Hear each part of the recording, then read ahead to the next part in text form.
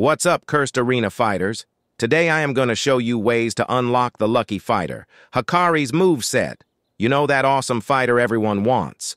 But how do you actually unlock him or any other locked move set without getting lost? Don't worry, we got you covered. Today's video will show you multiple ways to snag Hakari, so buckle up and get ready to dominate the competition. Defeating the boss is only half the battle. Here's the catch. Only the top three damage dealers get a chance to snag the character drop. So make those attacks count. Method 1. Let's start with some options, whether you're rolling in Robux or prefer a free in-game grind. For those who want a quicker path, Cursed Arena offers a VIP Game Pass, which gives you a daily boss ticket every day so you get a guaranteed shot at a boss with this ticket.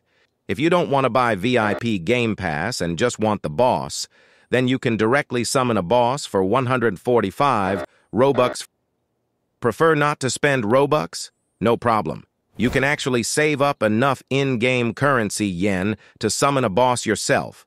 By defeating other players in the arena, you'll earn yen, save up 300 yen, and you can then use it to summon a boss within the game. Method 2. All right, Robux and in-game grinding not your style? No problem. Cursed Arena has a thriving Discord server, and it can be very useful for boss hunting. Head over to the Cursed Arena Discord server and get yourself verified. Once you're in, keep an eye on the Boss Request channel.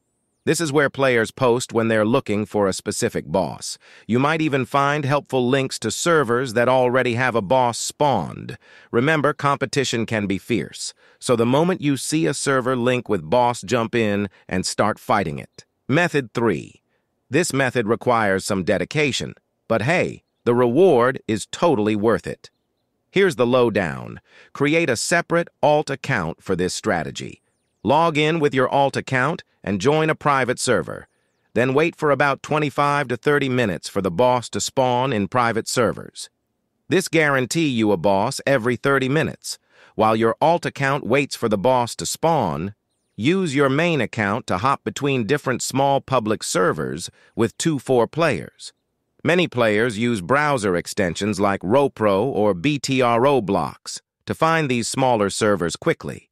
This way, you're essentially maximizing your chances of finding a boss across both accounts. Remember, obtaining Hakari might involve some luck, especially with boss drops. Don't get discouraged. Keep at it. And hopefully, with these methods, you'll be dominating the arena with Hakari's moveset in no time. So there you have it, folks. Some solid ways to unlock Hakari or any other locked moveset in Cursed Arena. Don't forget to like and subscribe for more. See you next time.